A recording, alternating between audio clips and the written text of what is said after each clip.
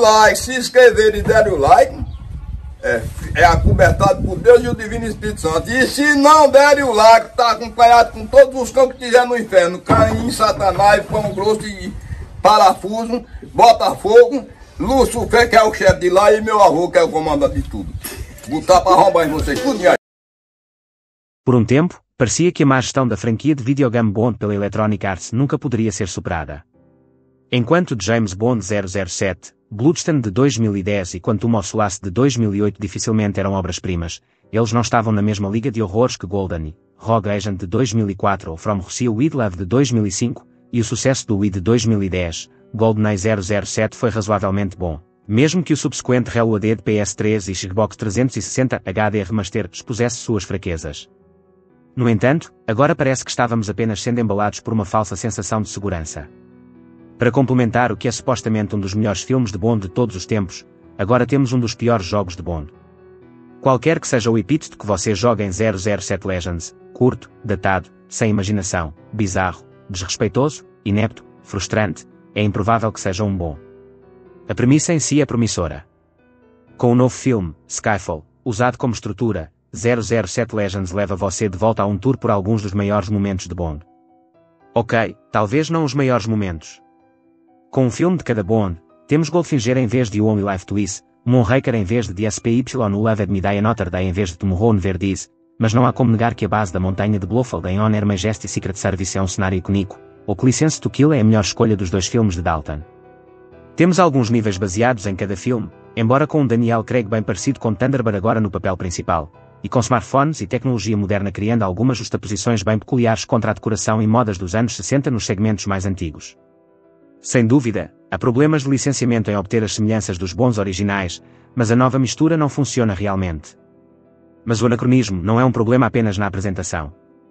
007 Legends é principalmente um jogo FPS, mas não parece nem parece um jogo de tiro moderno. Graficamente, é uma combinação próxima de Perfect Dark Zero e outros jogos antigos da era HD, e às vezes parece mais antigo do que isso. Suas texturas lamacentas, Ambientes em blocos e efeitos de iluminação e superfície de baixa qualidade fazem com que pareça um jogo de Wii que foi ampliado para o PS3. E embora a jogabilidade não seja totalmente a de um FPS vanilla, tudo lembra muito um Call of Duty de meados dos anos 2000. A IA inimiga é maçante e pouco sofisticada, a torre e as sequências de direção são igualmente descartáveis, e o design da missão é totalmente sem inspiração. O resultado é uma ligação para um filme de 2012 com personagens e cenários de 1964 a 2002 com gráficos e jogabilidade de 2005. Não é de se admirar que nunca se encaixe. Em seus melhores momentos, como nos estágios iniciais do ataque on Air Majesty Secret Service, 007 Legends atinge as notas certas de ação e nostalgia de Bond. Em seus piores momentos, não é apenas medíocre, mas ativamente inepto. Sempre há espaço em um jogo de Bond para gadgets e quebra-cabeças simples, e as sequências de hacking e desbloqueio baseadas em smartphones e relógios não são tão ruins. Onde o jogo exige furtividade, no entanto, tudo é mal administrado e incrivelmente frustrante, com condições de falha instantâneas, checkpoints ruins e designs de níveis que simplesmente não são tão propícios para furtividade. Diz muito que, onde furtividade era apenas uma opção em vez de uma necessidade, logo recorremos a apenas explodir todo mundo até que a área estivesse limpa, o que não é realmente o objetivo de um jogo de Bond. Realmente não deveria ser tão difícil fazer um jogo decente de James Bond, deveria. No que diz respeito ao material de origem, 50 anos de aventuras de 007 na tela grande deveriam ter fornecido à equipe da Eurocom uma riqueza de acrobacias de sucesso, estilo e subterfúgios para extrair. Infelizmente, parece que a equipe de desenvolvimento apenas folheou as contracapas de alguns dos DVDs do box set de James Bond e então decidiu interpretá-los na forma de um Call of Duty de um homem pobre. No que diz respeito a tributos, isso é como levantar sua taça de champanhe para brindar alguém e então usá-la para dar uma taça no olho dele. Aqui está a configuração para a campanha single player. Em uma cena do próximo Skyfall, o 007 de Daniel Craig é acidentalmente baleado por uma atiradora de elite enquanto se defendia de um inimigo no teto de um trem em movimento. Bond então cai em um rio abaixo, e enquanto seus pulmões se enchem de água, ele é atingido por uma série de flashbacks de suas aventuras anteriores, cada uma das quais serve como as cinco missões diferentes no jogo. Essas missões são tiradas, um pouco fora da ordem cronológica, de Goldfinger, Honor Majesty Secret Service, License to Kill, Die Another Day Moonraker, com uma sexta missão baseada em Skyfall a ser lançada mais tarde como DLC gratuito. Cada missão se passa nos dias atuais, já que é o bonde de Daniel Craig substituindo gente como Connery e Moore, mas apesar dessa justificativa ainda parece um pouco estranho invadir o covil alpino de Blofeld e tirar fotos de vigilância com seu smartphone, ou assistir a um dos capangas de Goldfinger voando para fora do assento injetor em um Aston Martin DBS moderno em vez do DB5 original. Na verdade, tudo isso parece estranho. Embora haja alguns momentos que são fiéis ao material de origem, como a cena em que Bond é amarrado a uma placa de ouro e suando no laser de Goldfinger que queima a virilha, na maior parte, 007 Legends é quase irreconhecível como uma experiência Bond, muito menos uma homenagem à história orgulhosa da série.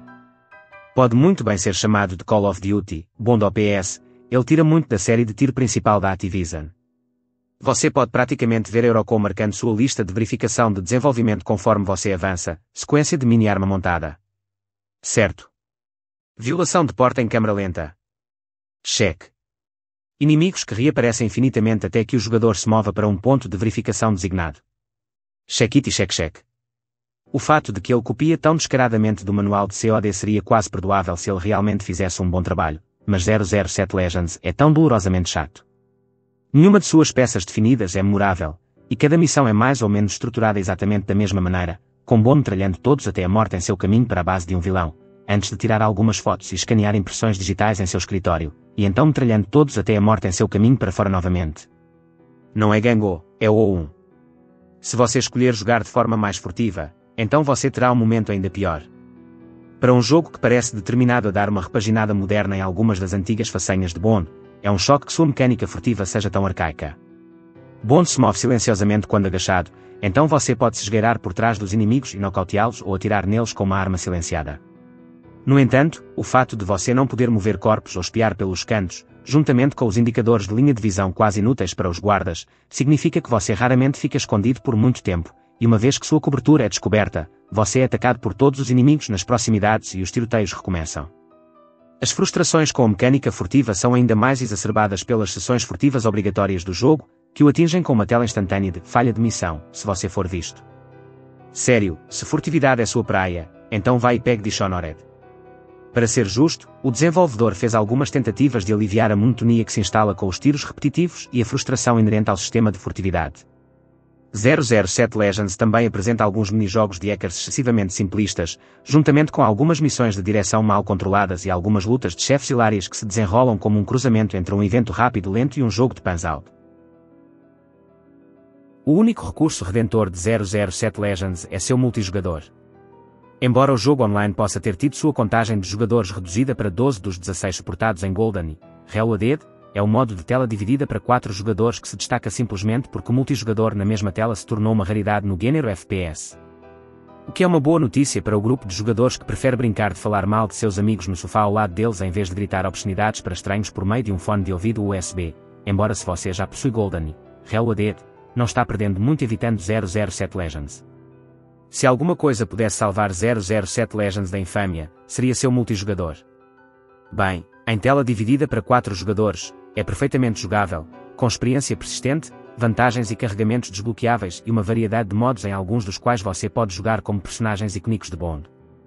Mas então você poderia dizer a maioria das mesmas coisas sobre GoldenEye, Reloaded, que agora pode ser seu por menos de 15 libras esterlinas se você estiver desesperado por alguma ação multijogador de Bond. 007 Legends nem parece uma boa ideia no papel, e é apresentado de uma maneira tão sem entusiasmo. Porque forçar a semelhança de Daniel Craig em cada uma das cinco gerações anteriores de Bond, se você nem vai se dar ao trabalho de obter sua voz. E seu som é atroz. Porque incluir um nível de direção na missão License to Kill se você não vai deixar o jogador fazer aquela acrobacia incrível em que o Bond de Timothy Dalton equilibrou um caminhão Kenworth de lado para desviar de uma rodada de RPG. Porque apresentar o personagem Jinx de Diana Day se você não vai apresentar a voz ou a aparência de Elberry. Porque incluir Moonraker. É quase como se o desenvolvedor tivesse se esforçado para decepcionar ativamente os fãs, e se este jogo não é para eles, então para quem exatamente é? Por fim, deve ser destacado que o DLC da missão Skyfall não é um extra opcional, é na verdade o fim da campanha. Caso contrário, você joga as 5 missões no disco e, assim que termina Moonraker, ele transita abruptamente direto para os créditos. Só podemos supor que a missão Skyfall foi adiada para não estragar o novo filme. Mas eles já estragaram cinco filmes antigos ao incluí-los no disco, então por que parar por aí? Embora 007 Legends tenha seus momentos, este é confortavelmente o pior jogo de Bond em quase uma década, e não é como se a competição fosse tão acirrada. A mistura de Bond era Craig e gadgets com personagens e cenários vintage parece errada, e os gráficos e a jogabilidade são terrivelmente datados. Quando a coisa mais legal que você pode dizer é que as opções multijogador não são ruins, você sabe que estamos em apuros. A licença de Bond para emocionar os jogadores é mais uma vez firmemente revogada. Muito obrigado por assistir até o final. Espero que tenha gostado do conteúdo. Se você curtiu, não esqueça de deixar o seu like, é uma forma simples e rápida de mostrar apoio. Compartilhe este vídeo com amigos, familiares ou qualquer pessoa que você ache que possa se interessar. Sua ajuda na divulgação é fundamental para o crescimento do canal. E se ainda não é inscrito, aproveite e se inscreve no canal para acompanhar mais conteúdos como esse. Não se esqueça também de clicar no sininho para ativar as notificações e ficar por dentro de todas as novidades. Qualquer dúvida ou sugestão, deixa aí nos comentários. Nos vemos no próximo vídeo. Valeu!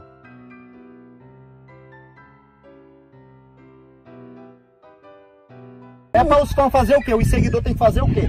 Atolar o dedo. Olha, atolar o dedo que eu quero ver bombar mesmo. Eu quero ver o canal passar de, de, de, um milhão. Não é ficar montado em riba de 500 e passar tempo sem tempo, não. É para arrombar mesmo. Bota para lascar. Beleza. Atola o dedo, se um não der, bota os dois aí nessa porra aí.